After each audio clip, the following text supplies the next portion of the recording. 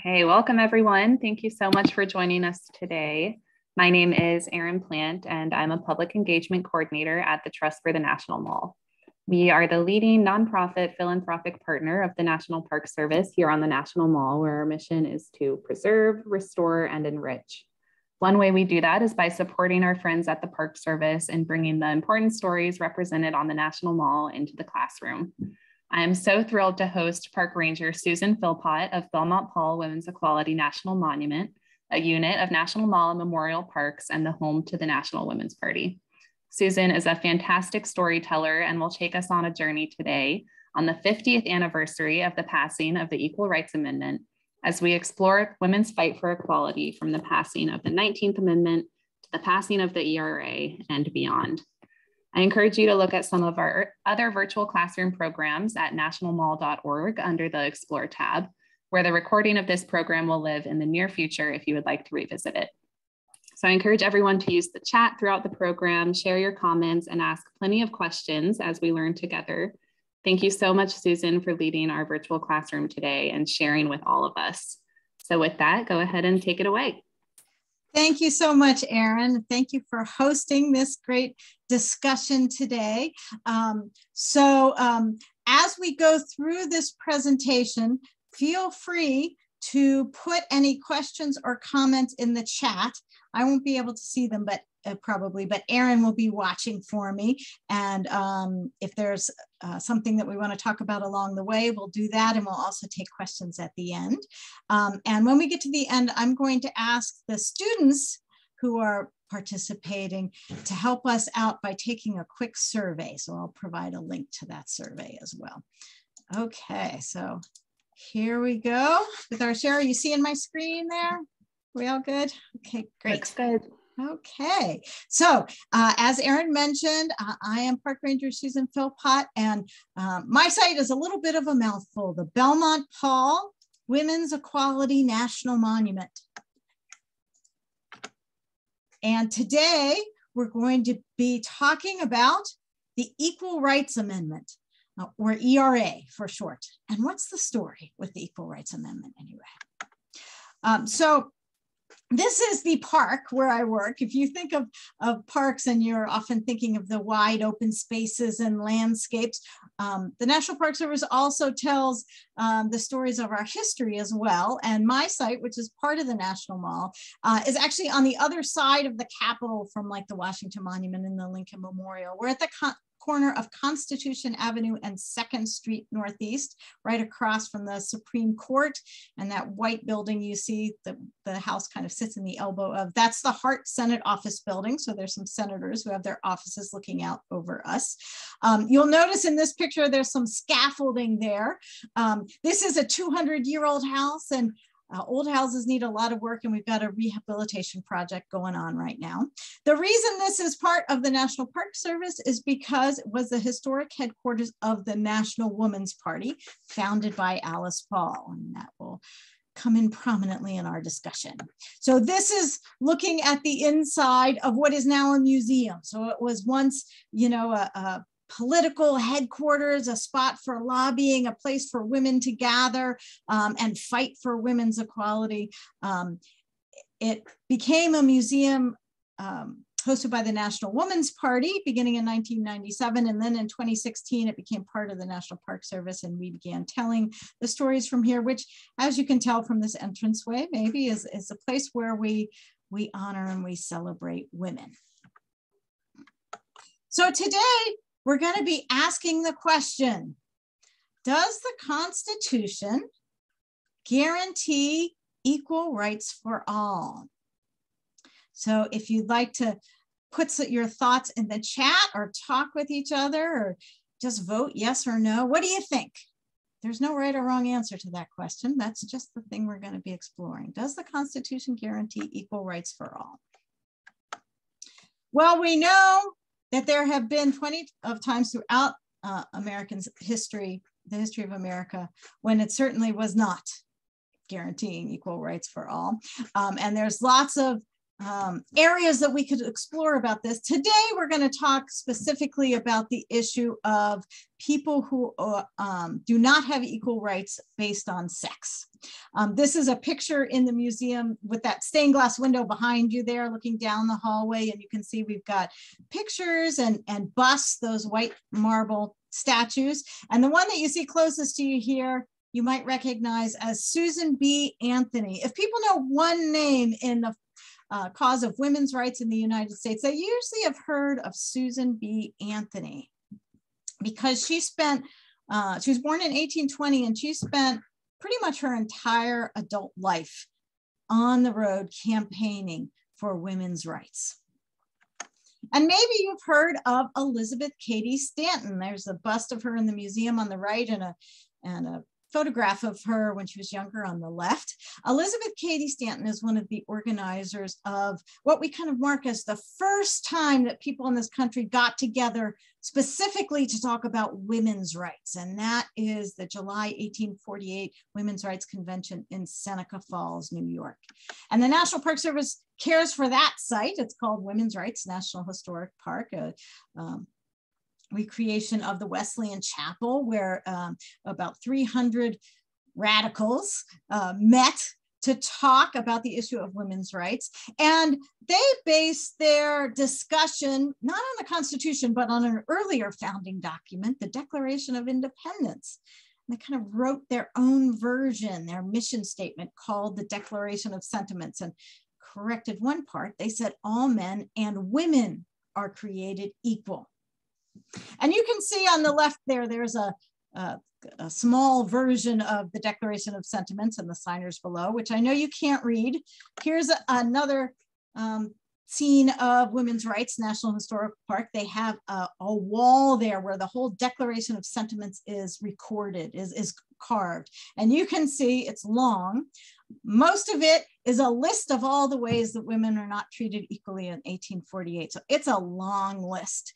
And they're talking about all kinds of things, how they're treated under the law, how they're treated economically and education and social issues and religion. Um, so they had a lot on the agenda. And one of the things they talked about, and actually it was the one that got people the most uh, concerned, was the most um, controversial, was the issue of women's suffrage. Now that word suffrage, that's kind of a strange word. It sounds like suffer or suffering. It doesn't actually have anything to do with that, although plenty of people have suffered for suffrage. Um, the word suffrage just means the right to vote. So if women's suffrage means women's right to vote, to participate in the political process.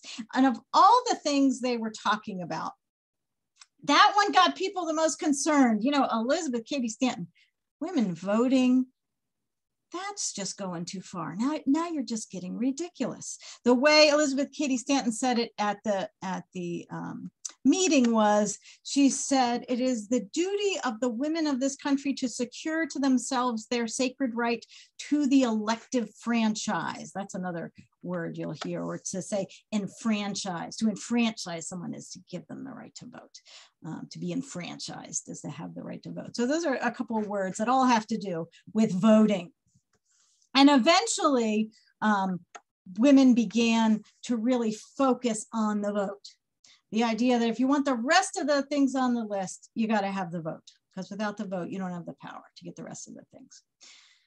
Now, the Constitution doesn't deal too much with the um, with voting.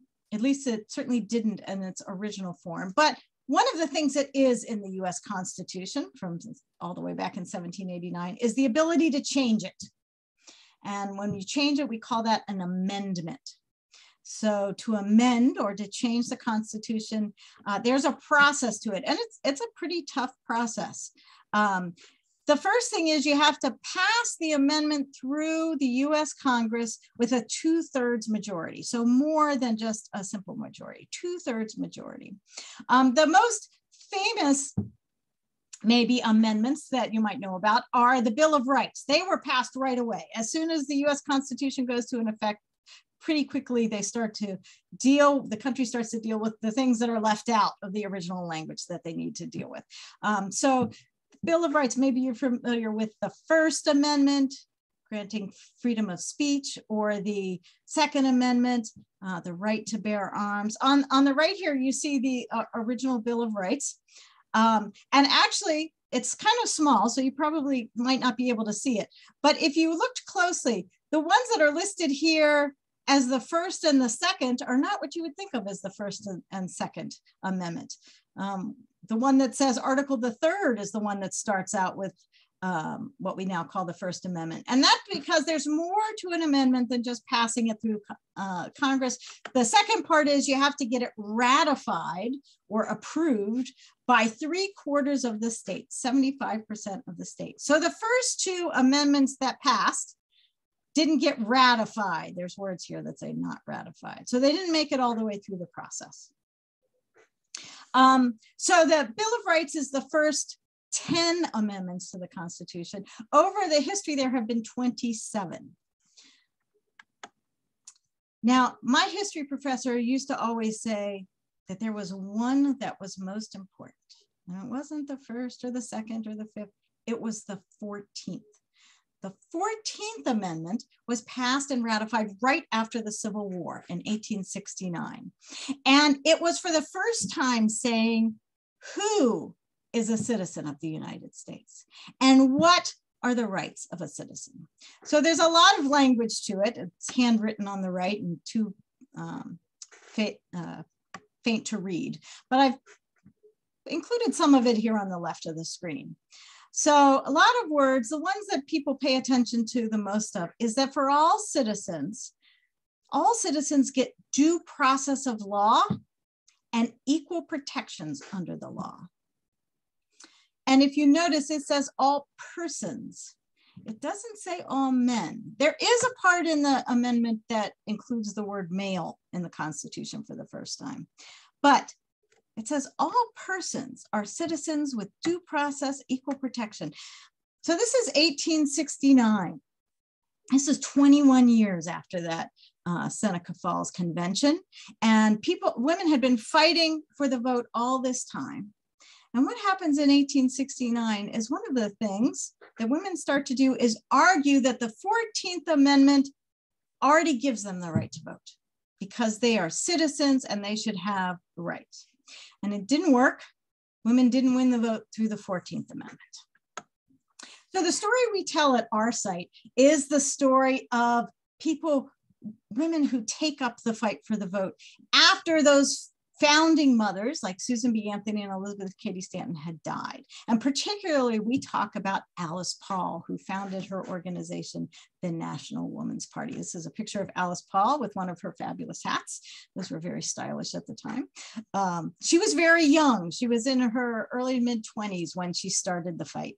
And she really believed that it was a fight for rights, that trying to convince people through speeches and writing uh, petitions or editorials wasn't getting anybody anywhere. And that what women needed to do was cause a little bit more trouble, be a little more, more confrontational.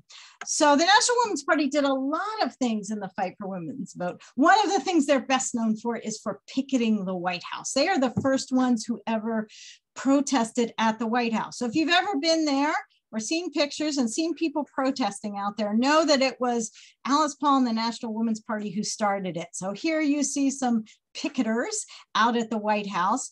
Um, it's a black and white photo, so you can't tell, but you can see that they're wearing sashes and they also have banners that have three colors on them. Those colors are purple, white, and gold. Those were kind of their trademark colors. Um, they didn't have to have any words. Everybody knew that as kind of their trademark. And so if they saw a woman with that sash or holding that banner, they knew, oh, that is a suffragist.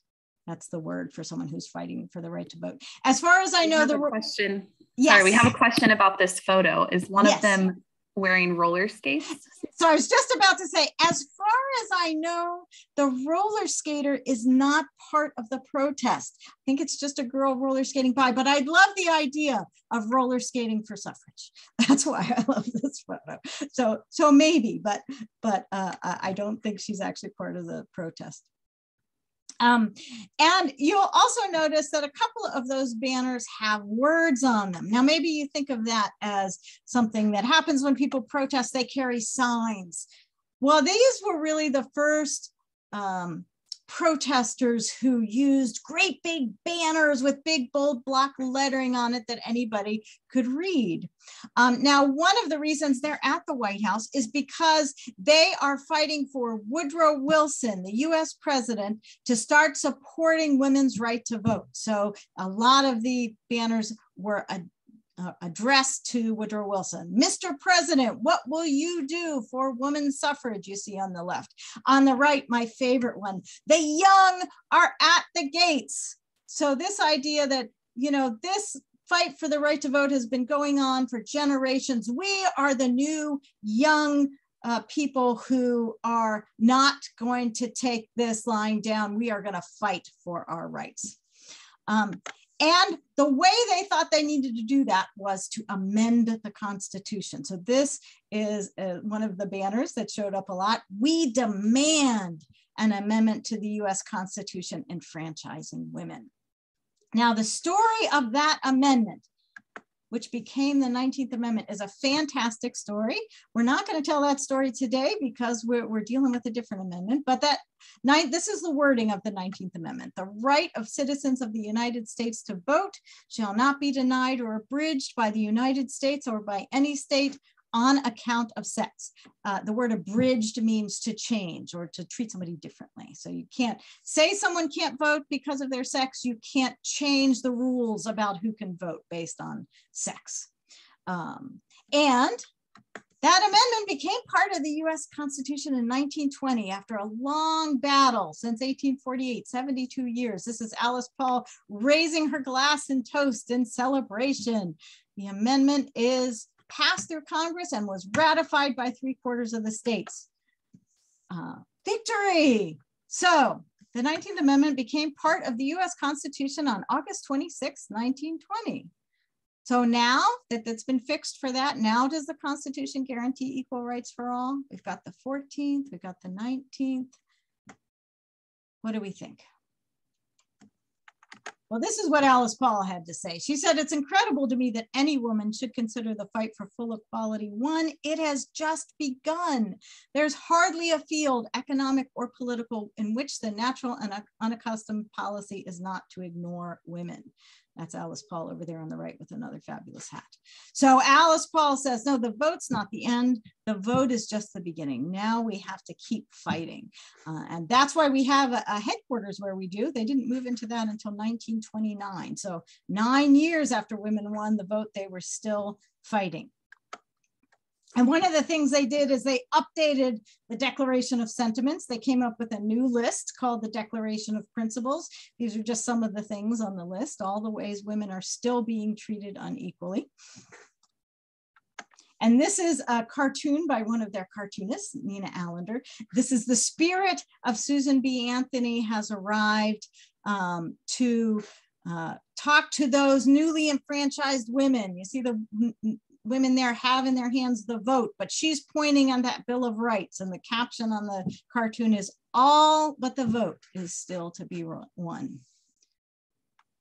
So I, I just had to show you this picture because I love it. They had uh, the National Women's Party called a convention in Seneca Falls, New York on the 75th anniversary of um, the Women's Rights Convention. And um, they, one of the things they would do is they would do pageants um, where they would dress up in costumes and demonstrate the history of women. Sometimes they had what they called tableaus, which this is where everybody sort of stands like a statue to demonstrate some scene. This is a scene from ancient history, women warriors. Uh, so their version of TikTok, I guess. Um, so they had this convention with the pageants and the celebrations, and they said, okay, now it's the next phase we need to go back to that idea of amending the US Constitution, this time not for the vote, but for full equality. And so at that convention, they came up with a new amendment who they named for Lucretia Mott, who was another uh, early woman suffragist who organized the Seneca Falls Convention. And they called it the uh, Lucretia Mott Amendment. And the wording was men and women shall have equal rights throughout the United States and in every place subject to its jurisdiction. Sounds right, right? Equal rights for everybody. Here is another cartoon of the spirits of the, the women pioneers who had gone before, encouraging the new woman in, now in the 20th century with that Lucretia Mott Amendment. Well, hold on a minute. These women, in addition to having just amazing hats, um, are suffragists themselves. They had fought for the right to vote. They were part of a new organization called the League of Women Voters. So they're voters. They believe in participating in the political process, but they say, wait a minute, Alice Paul, that amendment of yours, that's going too far now. We don't need that, that equal rights amendment. That is a mistake. And Alice Paul was kind of shocked that all these women who'd fought for the vote were not then part of her uh, idea to keep going, to change the Constitution again. And the way she said to herself, this is Alice Paul again, she said, the problem is not the Senate or the Con Congress or the president. So no more picketing and protesting and pressuring the politicians. She said, because now we're voters and we have the power. What she thought is that the problem was changing the thought of the American women, that women had internalized the idea that they were inferior. Um, and so now the new mission would be to convince women that they deserved equal rights. Now, that's probably uh, a, partly an accurate assessment of what was going on. Women have grown up in a society that tells them that they're not equal. And so the idea of what would equality based on sex, having equal rights, what would that look like? So a little hard to, anytime there's change, it's hard to grapple with. Um, but there's more to the story, as there often is. Remember that long list of things that women are fighting for. One of the things that women have been fighting for all along is for safety and protection in the workplace. More and more women are going to work in places like factories, like you see in this picture. Um, and they're in a situation where they often get exploited and mistreated. The, the working conditions are dangerous and they have to work long, long hours, and kids have to work too. Um, and so, one of the reform movements has been fighting for rights for workers.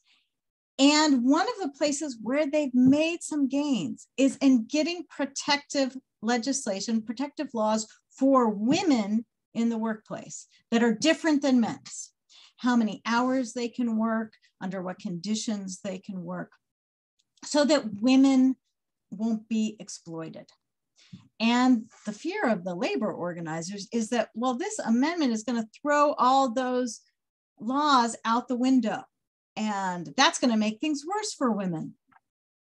This is another cartoon that's kind of the National Women's Party's answer to that. You see a, a young mother with her two kids cuddled up to her and she's looking at something on a door that talks about the protection of her. Motherhood is the noblest profession in the world. But this is what they're saying the labor protection does. It says it means that women get inferior jobs, the lowest pay, and limited hours uh, except in the home, of course, where women have to do all the work. So that was their answer. Um, that was them trying to convince people that no, we shouldn't have different rules for men and women. It should be protective legislation for everybody. It should be safe and fair for everybody. If you treat women differently as if they need protection, what you actually do is mean that they have an inferior situation, that things are worse for them. Um, they weren't really getting anywhere with the with the Lucretia Mott Amendment. In 1943, the wording of the proposed amendment was changed. Uh, this is a, a, wall in the museum at Belmont Paul with the words of the revised Equal Rights Amendment, which people then started calling the Alice Paul Amendment. Equality of rights under the law shall not be denied or abridged by the United States or by any state on account of sex. Sounds a lot like the 19th Amendment. Um, so instead of saying what the government has to do, like many other amendments, what this one is saying is what the government can't do. You can't uh, deny or abridge. You can't say that people don't have rights um, or they have different rights because of sex. So that's 1943. That's right around the time that uh, that nation is going to war, and women are more and more not only uh, being involved in the military, but being involved in, in more and more um, areas of work on the home front. And so there's uh, the push is continuing, but you can see this is going on for decades now. This fight we're now we're now 20 years in um, the idea of equal rights amendment, and not still not really getting anywhere, even with the change. So I just want to take a minute and have everybody think about what about that question of equality not being fair? So if you have equal rights that, that actually makes things not fair for women. That's the argument. So, what do you think is the difference between fairness and equality? There's no right answer to that. It's just something to think about. Okay, so while you're thinking about, we'll pick up the story.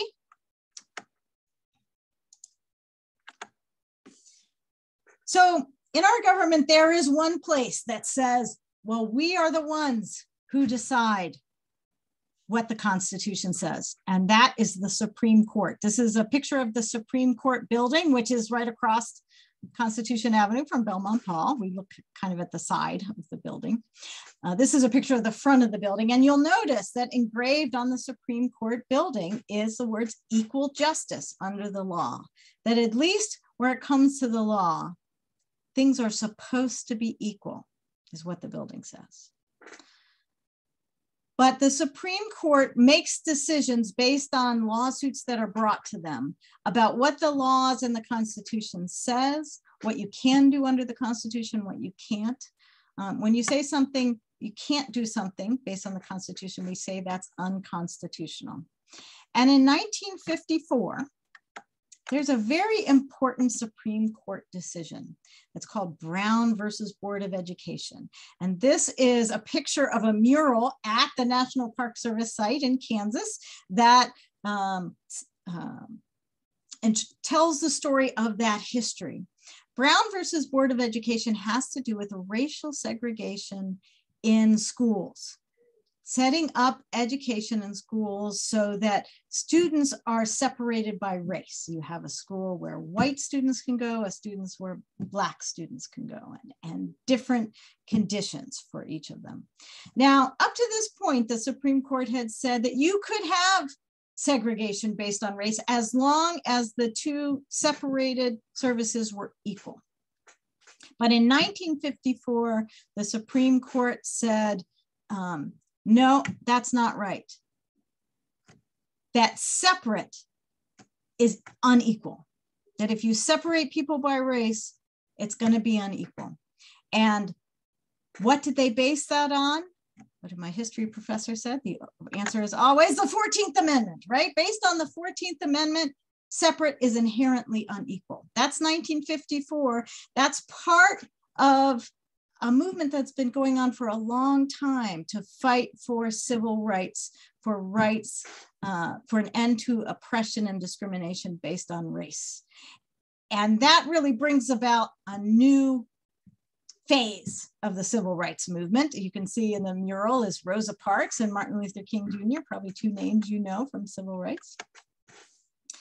Nine years after Brown versus Board of Education, there's a very important civil rights moment on the National Mall. That's the March on Washington for Jobs and Freedom. You've probably seen pictures of, of Dr. King standing on the steps of the Lincoln Memorial. This is another picture of that march, and you can see some of the signs, right? They're protesting with signs. And what are they protesting for? Equal rights, decent housing, end to bias. Wait a minute, integrated schools. I thought nine years before the Supreme Court said you had to have integrated schools. You couldn't have racially segregated schools. Well, that's one of the things that shows that it can be in the Constitution. It can even be that the Supreme Court says it. But unless somebody enforces it, things don't change. So even though nine years before the Supreme Court had told states that they had to desegregate their schools, they had to have integrated schools, it wasn't happening. So the civil rights movement is fighting for a number of different things. Here's another picture from the March on Washington. And you can see these signs. What are they saying? Voting rights is one of the things that on there. Wait a minute, voting rights. There's another amendment to the Constitution that came out to the 14th, right after the year uh, later, 1870. It's the 15th Amendment that says you can't, states can't discriminate in voting based on race, except states are doing it. Here we are. Um, nearly 100 years later, and states are still discriminating against people based on race. So, what it turns out for all of these things is it's not enough for it to change the Constitution. The 14th and the 15th Amendment, the Supreme Court aren't changing things enough. What you need is a law and somebody enforcing it. So in 1964, there's a law called the Civil Rights Act that is supposed to get rid of racial segregation in all public areas, including education and jobs. Um, and the next year, there's the Voting Rights Act of 1965 that um, is supposed to change things so that everybody can vote, not just on sex, but based on race. You can't be denied or abridged based on race. Um, this is a picture of a postage stamp that the US Postal Service uh, issued to commemorate the 1965 Voting Rights Act. So there are a lot, often the pictures you see of the civil rights movement, the leaders that you think of, there are a lot of men, right? It's men who are speaking during the March on Washington, Dr. King, um, maybe you know Stokely Carmichael or John Lewis. But women are involved in that movement too. And they start to see that they're getting discriminated on doubly. They're getting discriminated based on race, they're getting discriminated based on sex. And there's other women, maybe who haven't been involved in the civil rights movement, but who see what's happened in the civil rights movement and they start to say, yes, we want to fight for our rights too. So that's when you start a, a movement, the women, women's equality movement, sometimes called women's liberation, also second wave feminism, who start to fight for women's rights in education, uh, in employment, in under the law. And uh, you can see in this picture, this is a, a March, uh, if you can see what's on these women's shirts, it says women on the move. So that sounds like a new version of the younger at the gates to me. These are the women are on the move and they are demanding rights. And if you look over on the right, uh, over here on the right, this is Betty Friedan in, the, in March, and you notice she's got a button on there. You notice what it says? ERA, the Equal Rights Amendment. So this second wave feminism, they start to take up this amendment that Alice Paul had introduced um, so many years ago, and they start fighting for it. Um, and here, here are some buttons in our display case. You can kind of see the reflection of me taking the picture on the left. And you notice some of the ERA buttons, including the one that, that's like the one Betty Friedan had on. Uh, Equal Rights Amendment, ERA, yes, women are wearing buttons, they're wearing bracelets, they're getting the word out that they need to take up this Equal Rights Amendment as a way to guarantee equal rights based on sex. And they start doing some of the things that the National Women's Party had done. So, those kind of visible confrontational things that get everybody's attention. Uh, protest. National Women's Party hadn't really done that um, decades before. Now these new second wave feminists start to do that. And 50 years ago today, they managed with bipartisan support to get the Equal Rights Amendment through Congress in a two thirds majority. This is a picture of the amendment. You notice the, the stamp says March 23rd. That's the, that's the day that the records office received it, but they passed it on March 22nd, 1972. passed it through Congress. Wow, they, we got it done. Except remember, there's two parts to amending the Constitution. The first part is passing it through Congress, but the second part is getting rat ratified by three quarters of the states, 75%. To get 75%, they need 38 states to approve it, to ratify it. I want to point out over here again, um, one of these amendments that you see that was passed through Congress originally 1,789, 1789, it passed through Congress. But it didn't get ratified back then. It got ratified 30 years ago this, this year in 1992. So over 200 years after it first passed through Congress, it was ratified. It's the 27th Amendment. But the wording in the Equal Rights Amendment said you can't wait 200 years because it includes a clause that says become part of the Constitution when ratified by the legislatures of three fourths of the several states within seven years from the date of its submission by the Congress.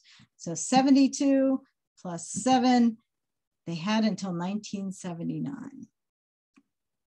Um, I met someone once who told me the story of coming to the National Women's Party headquarters um, right after this amendment passed 50 years ago and finding a very elderly Alice Paul there at the at the um, headquarters. You know, she's coming over from Congress. They've just passed. She's coming in celebration. She found Alice Paul in tears because of that time limit. Alice Paul said that is going to kill the Equal Rights Amendment. That the message that these uh, legislatures are sending to the country is if you can hold out for seven years, the Equal Rights Amendment will go away, it will die. And there are people who set out to make sure that happened. Now, at first, the amendments got bipartisan support, and lots and lots of states are ratifying it. And they get 35 of the needed uh, 38 states by 1977.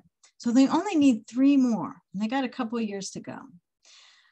But there is another wave of people who are opposing the Equal Rights Amendment. Now, the person I have in this picture here is probably the best known face of the Stop ERA campaign. Her name is Phyllis Schlafly. But she wasn't alone. She couldn't have done this alone. One of the things that Phyllis Schlafly was, was very good at is saying things in a way that made people angry. Maybe we'd call her a troll today. She, um, you can kind of tell from the sort of devilish grin on her face right here. She knew that she was saying provocative things, that she was stirring people up, that she was making people a little upset with the things that she was saying. That was part of her tactic to change the conversation about the Equal Rights Amendment. But she was saying things that people that resonated with people, right? If, if she was just saying things to be mean, it wouldn't have done anything. But she said things like, wait a minute, women are the ones who get pregnant and have children. And women have to take care of the children. And women take care of the home. And this Equal Rights Amendment is going to make it unconstitutional some of the things we laws and practices we have in place that take care of women while they take care of the family. Equality is not something that's going to be good for women. Equality would be bad for women. Equality is something you should be afraid of. And here are some of the things that people worried about. I just want to point out that the, you'll notice where these protesters against the Equal Rights Amendment are. They are protesting at the White House. So they're using Alice Paul's own technique against her amendment. But you can see some of the things they've got on their signs. Maybe they look familiar to, to things that people say today. You know, one of the things is that everything that's happening is a lie. Stop the web of deception and also some things that people are worried about, some things that maybe people still think about. What happens if there's an equal rights amendment? Does that mean women will have to register for the draft in the military? Probably. Um, what will that mean for women when, uh, for people when they are pregnant, when they are in having babies, when they have that physical change? What will it mean for uh, people who have uh, different bodies than what we think of as the male body? What will that mean? What will that mean for Social Security? What will mean for the things that are put in place um, to protect women? And should women be protected in our society? So this changes the conversation. Um, it starts to make people angry. And when they're angry, they start yelling at each other instead of having conversations. Um, and it changes the public support for the Equal Rights Amendment. So we've got 35 um, states ratified by 1977, which is the year that Alice Paul dies, and then nothing. No more states are ratifying.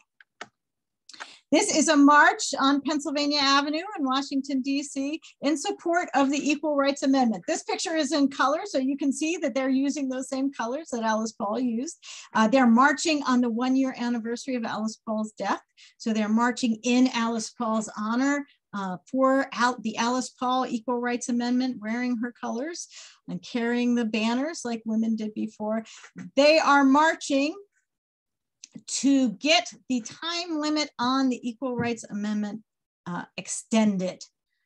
Um, so they're running out of time um, and they're saying that Congress should pass an extension uh, on the time limit to get the um, amendment ratified. Um, and it works. They get an extension for three more years. So that takes them to 1982. Okay, we got a few more years to get the Equal Rights Amendment ratified. This is a banner from the National Women's Party collection. It says ERA won't go away, but it did. 1982 deadline came and went. No more states ratified. The ERA is dead. Um, three states short of the three quarters that they needed of ratification. So that's the end of the ERA story or so we thought. This is a map that I got from a group called ERA Action. None of these maps are anything that I created. I grabbed them from online. Um, the states in purple are the 35 states that had ratified by 1977. And then wait a minute, March 2017, Nevada voted to ratify the Equal Rights Amendment. Wait, what? Decades after the time limit expired, a new state is ratifying the Equal Rights Amendment. Now people are talking about it again. Um, and then succession after that, Illinois voted to ratify. And in January 2020, Virginia voted to ratify the Equal Rights Amendment. So this map shows in green 38 states having ratified. Okay, so Equal Rights Amendment, part of the US Constitution now, right? Nope. Um, the Department of Justice told the National Archivist, no, you cannot certify that that amendment is part of the US Constitution because Congress put a time limit on it and the time limit has expired. And just to keep things more interesting along the way as the, as the uh, opinion about the Equal Rights Amendment shifted, states that had ratified said they were rescinding, voted to rescind their ratification. Rescind is to cancel it. So they said, we don't ratify anymore. We're taking it back. Idaho, South Dakota, Nebraska, uh, Kentucky, and Tennessee, all those states said no more. We don't, we don't ratify the Equal Rights Amendment anymore. Can they do that? We don't know. That's one of the questions that will probably go to the Supreme Court for a decision. Also, three states Alabama, Louisiana, and up here, South Dakota. Those three states have filed a lawsuit. That's one of the ways you get your voice heard in this country is through the courts. They filed a lawsuit to say that the Equal Rights Amendment should not be part of the US Constitution because the time limit expired. Yeah, if you want the Equal Rights Amendment, you've got to start all over again, start the process all over. Other states, Virginia, uh, Illinois, and Nevada have a, another lawsuit trying to get the Equal Rights Amendment into the US Constitution. So that's where we are right now. Things are working their way through the courts. Different decisions are being made. So, so watch the news about that. But remember the question that we had before, does the Constitution guarantee equal rights for all? The woman in this picture started to argue that uh, although she thought that the Constitution needed an Equal Rights Amendment, that there was protection, equal protection under the laws in the US Constitution already. Where? The answer is always right the 14th Amendment, in that clause in the 14th Amendment. I went, so when she was a young lawyer at uh, the ACLU, she practiced at the ACLU. So she had a hard time getting into law school. And then once she got her law degree and passed the bar, no firms would hire her because she was a woman. Uh, so in the 1970s, she started um, bringing cases to fight ways that men and women were treated unequally under the law. Sometimes when men were treated unequally under the law, to say that this is wrong. Um, if you don't recognize her from this picture, maybe you recognize her in this picture. Uh, this is Ruth Bader Ginsburg. She would eventually become a justice on the Supreme Court. So one of the people making the decisions. She started out uh, as a lawyer who was making the arguments. And she would often stop by the National Women's Party headquarters before uh, she went to the Supreme Court to make her arguments to get support from Alice Paul.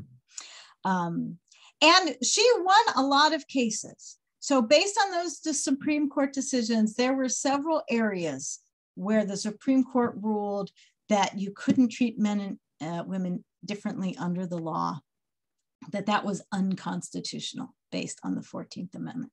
She didn't win them all, but she won several of them. So there have been some decisions that said, yes, in limited circumstances, at least, the US Constitution does support equality. Um, this is another picture of Justice Ruth Bader Ginsburg being interviewed with a fellow justice with whom she, she had a very close friendship, although they disagreed about just about everything um, under the law. On the right is uh, Justice Antonin Scalia. And in this interview, they're arguing about this, this issue, talking about this issue. And what Antonin Scalia said is certainly the Constitution does not require discrimination on the basis of sex. The only issue is whether it prohibits it. So, does the Constitution say that you cannot discriminate in the law based on sex? And this is his answer, at least. He says it doesn't. So Antonin Scalia said nothing in the US Constitution says um, that equality based on sex. Now, both of these Supreme Court justices have since passed away, but there are younger justices who are now on the court um, who follow the, the, the legal theories of each of these justices. So there are people on the court now who agree with Justice Scalia. There are people on the court now who agree with Justice Ginsburg. And these issues are probably going to continue to come to the Supreme Court for decisions. So the issue of equality based on sex is an issue that has continued to evolve in the nearly 100 years since Alice Paul started talking about the Equal Rights Amendment in the 50 years since the Equal Rights Amendment passed through Congress. Here is a banner um, from one of those uh, ERA marches in the 1970s. It is um, at Freedom Plaza on the on Pennsylvania Avenue for the Women's March in, in 2018. And you'll notice that uh, maybe the faces look a diff- little different, and the signs they're carrying are talking about new things. Uh, there are, are, other things that people are talking about when it comes to when we're talking about equality. Um, so we think about it. What does the Constitution support? And what do we mean when we say equality? What does equality look like in the 21st century? So I'm going to open it up for questions and comments and to have a conversation, but I'm also going to put a link in the chat to a survey that I'm going to ask the students uh, that are on the call to take if you wouldn't mind. We need your help to make these programs great for other students like you. Um, this voluntary survey to answer some questions that will help you reflect on your experience and to give us feedback on the program. For most of the questions, you'll be answering on a scale of zero to 10, where zero means the program had no influence on you at all, and 10 means it changed your life. You'll probably answer somewhere in between on the two ends of the scale. For many of the questions, it's perfectly okay if you have different answers for each question. There are no right or wrong answers. So please answer with your honest opinion and work alone to complete the survey. Your responses will help us improve programs like this for the future. So I'm going to put that link in the chat while we um, while we get some some questions or some thoughts. And teachers, um, I can also send a um, a hard copy, you know, a PDF of this survey if you'd rather have your students do it that way. So thank you so much, all the students that are willing to do that survey for me. Um, and um, I'm ready for thoughts, questions, conversation. Yeah, thank you so much, Susan. That was fantastic. We do have one question so far. It's can people come and visit the National Women's Party headquarters? So um, you certainly can come and look at the outside of it. Uh, I noticed uh, put on that picture the scaffolding that is there. The site itself is under construction, uh, getting some much needed rehabilitation work done to it. We, we closed for COVID and then never reopened and, and now it's being fixed. Um, so you can't come inside right now, um, but we're hoping that with the new, uh, with the renovations and some updates to the exhibits, we hope um, that we'll be able to welcome people in person in 2023. But in the meantime, um, I can come to you virtually and take you on a virtual tour and tell you some more stories. Yeah, and are there any resources online for people to learn more about Belmont Paul and, and the Women's Party's headquarters? Yes, so we uh, our our website. I'm going to put a link to two places into the chat. One is the um, is our website, that the main website for uh, Belmont Paul, but then also because we just hit the 100th anniversary of the 19th Amendment, um, we've been very fortunate that there's been a lot of work done on our website um, to add women's stories, women's history, all kinds of different uh, biographies and articles and podcasts and all kinds of things you can find out on our women's history, the NPS Women's History subject site. So I put that link in the chat as well. Awesome, thank you. Well, I don't see any more questions coming in right now. Oh, Dale is not seeing the links. They were just added now, Dale. So let us know if you still can't access them. Um, but thank you again so much, Susan, for sharing all of this information, this exciting story, and how it's still going on today. I learned a lot. I hope that all of our students on the call learned a lot as well.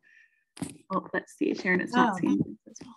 Not seeing the links. Huh. Oh, okay can add it. Did I put it in wrong? Oh, you know what? Uh, it was on there for hosts and panelists. So let me change that so that everyone can see it. Let's see. Okay, this is the um, subject site. Can ever, can people see that now? I hope, I hope. Yep, and I put in the main EPA one, so they should okay, great. there now. Thanks, everyone. And um, there's a there's a link on that page that says contact us. So if you have any other questions or you would like to set up another um, program, or I could come to your group or your classroom in person if you're local, or um, virtually if you're not um, please contact us there and we'd love to love to bring you more of these stories and the the the ongoing struggle for equality i saw that dale put in there you know that that uh, we were talking about sort of that binary men men and women but um, it's a lot more complex than that. Um, and the struggle for equality has many different facets and layers. And, and we'd love to keep telling more of those stories and thinking about those things. Absolutely. Okay, well, thank you everyone. And thank you, Susan. And we hope to see you all again on future programs, but have a great rest of your day. Thank you, everyone.